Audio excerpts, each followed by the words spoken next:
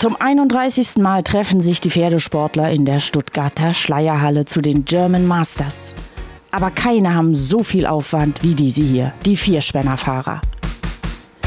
Während die Dressur- und Springreiter mit Satteltrense und Pferd anreisen, kommen die Vierspännerfahrer mit fünf Pferden, mit einer Kutsche, mit Geschirr und mit sechs Mann Personal pro Gespann. Das ist er, der Michael Brauchle.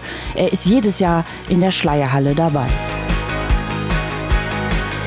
Eine Kutsche, vier Pferde, das alles zusammen, das sind 100.000 Euro, die er vom Bock aus durch die Schleierhalle dirigiert.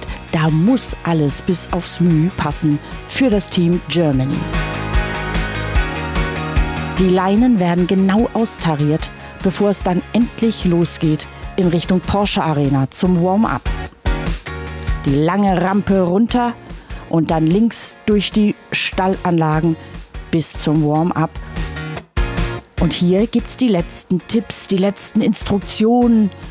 Da rechts, da links und hier kommt da der Bundestrainer Karl-Heinz Geiger und auch er gibt nochmal letzte Anweisungen.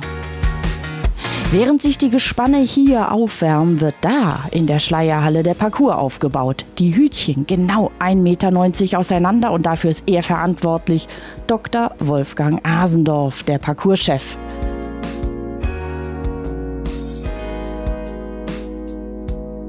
Über die Brücke, durch die Hindernisse. Alles wird abgelaufen. Jedes Team sucht seinen eigenen Weg.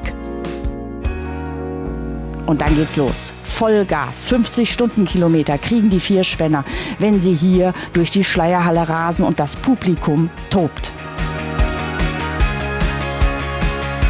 Links rum, rechts rum, über die Brücke und dann zack zurückholen und hier wie durchs Nadelöhr gezogen mit kleinsten Wendungen. Die Zeit läuft, die steht nie still.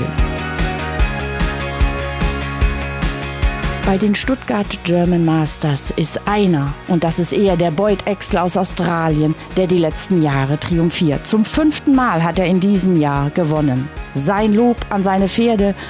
Gratulation, zum fünften Mal ist er der German Master. Der Leinenkünstler. Und er hat sich wahrlich seinen Schluck zum Sieg verdient.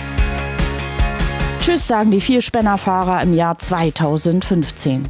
Aber sie kommen wieder nächstes Jahr. Und dann geht's wieder mit Full Speed durch die Schleierhalle.